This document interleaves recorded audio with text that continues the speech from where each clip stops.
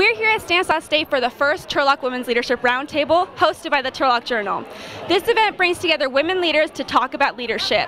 But before we get to the discussion, let's hear what leadership means to the people who are here.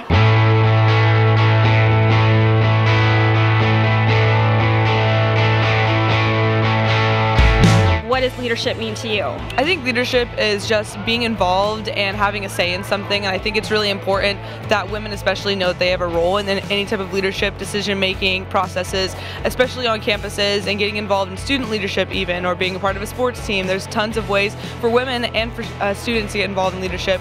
And for them to take that on, it really helps their character, their charisma, and really lock comes into their potential. I think if you have somebody who inspires you. It changes the way you think, and those kind of people are so important in our community, and there are so many here today. Leadership means uh, someone that can take charge, someone that's independent, confident about themselves. They can take on that role to, you know, persuade people, to encourage people, to be a positive outlook to others. Leadership to me is about action. Um, actions speak louder than words. We've all heard that, and it's true. People can give a beautiful presentation, but it comes to actions. You watch a leader um, and you notice things. That person inspires you. It, it, we all should be self-motivated, but be, being and watching a leader, that should inspire you to be the best you can every time you go out, out into the world. Uh, and I'm very happy that uh, in my career, I've had great leaders to, to uh, watch and try to emulate. Well, as the principal at Turlock High School, um, I have a phrase I use, which is shared leadership. Um, and this is not about me being the principal at Turlock High School. It's always about what can I do for our teachers to bring them along and make them leaders. So shared leadership was something I was mentored in as from Dana, who's one of our speakers today, um, the superintendent of Turlock Unified, and it's something that I continue to try to carry forward in my job now. And now it's time for the roundtable discussion. We recognize that we have made great strides in leadership positions. Uh, so one can come away with the perception that we have accomplished our goal. But as Dr. Junn said, statistically, we are statistically unequal. There's not equality. And so we haven't completed the goal, we haven't finished our job, and we still need to strive towards that. I, I don't look at it like I'm a councilwoman because I think it's kind of obvious, and I, I just I look at it as I'm supposed to be representing everybody, but there's a culture that, that tells people over and over again that a woman should do certain things, and it still comes through. Even young officers will expect me to hold the baby if we're, we're doing something. And I don't have a child, so I'm not really comfortable with that. And, and most of them are men, you know, and they have they're fathers. So it's funny how society just dictates and you're supposed to just accept it. And I think it's kind of our job to go out there and tell people you know, look, this is just we're all doing the same job, and there shouldn't be an expectation. We should all just take the the roles that we roll we do and just keep moving. And if you want to accept it, embrace it. But if you don't, just be who you need to be and confident. I think a lot of women leave the workforce at the time in their lives when they should be stepping into those leadership roles because they're not supported in terms of caring for their families. I was a single mom. I didn't have a choice. I had to keep working um, and in that sense climbing the, the so-called ladder. But I think a lot of women are put in a position where they have to make that choice, and so they lose ground in terms of experience and years on the job. If you had all girls in Korea in the generations before him, hundreds of years before, they have a genealogical tree. It's all written in book. And um, if you got married, the only children that showed up in the book, guess who? Are boys only. So my father was listed as having zero children. He had three daughters, okay? And uh, so his brother felt sorry for him. His brother gave him one of his sons. I know it sounds crazy.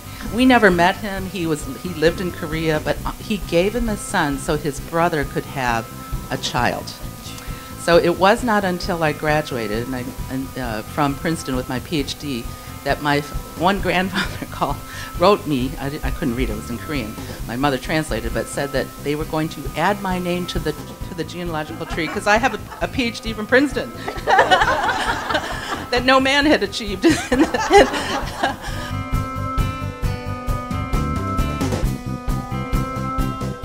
You know, I, I tend to believe that as women, we can't help but um, lead institutions the way we lead our families. Our values and our priorities are very, very similar. They can't help but bleed into one another. I'm always telling my three children that it's a mindset of gratitude and not entitlement. And I try to I try to really focus on that with, with employees and, and how I lead. I think that it has forced me to speak up more. Um, and, you know, I, I'm kind of ashamed to say this, but when I was young and sitting at the table with these executive leaders, um, I had ideas and I had thoughts, but I'm just the PR girl. I don't have an engineering degree. Um, so I was uh, totally discounting myself in the worth, but I, I wouldn't speak up. I wouldn't say anything. Later, I'd go to the manager who was running the meeting and I would tell him my idea or my thoughts. And wow, that's a great idea, Michelle. Why didn't you say something? And I think people in my generation, there was a tendency at one point to try to be more masculine and, you know, kind of behave more like a man. And I don't think I ever did that. I tried to always be who I was and to be feminine and a woman, but also strong and effective in leading organizations.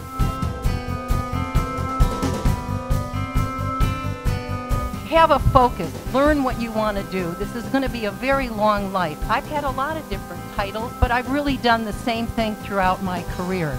So kind of get a sense and I believe in self-analysis. What what is your passion? What do you like to do? You know, don't spin your wheels focusing on something that really doesn't fulfill you. Be willing to be flexible sometimes with your leadership. Um, you know, kind of give and take where you can um, it's worth that time and effort to kind of treat teach people how to treat you. Um, but sometimes it, it, it might be that they're just not where you're at at that moment. Karin said there's no crying in business, and I tend to subscribe to that theory as well. But in my life and career, I've also not been afraid to show my human side or my softer side. Um, not because I'm a woman. I've, I've worked with men that have, you know, kind of wear their heart on their sleeves too. And, and you can't be an emotional wreck all the time. You can't be a sniveling, you know, sobbing, crazy person. But, but it's okay to show your softer side sometimes. It makes you more human. It makes people, I believe, makes people respect you a little bit more. Um, so you got to find a balance between being in control and in charge and holding people accountable and letting people see your softer side sometimes too.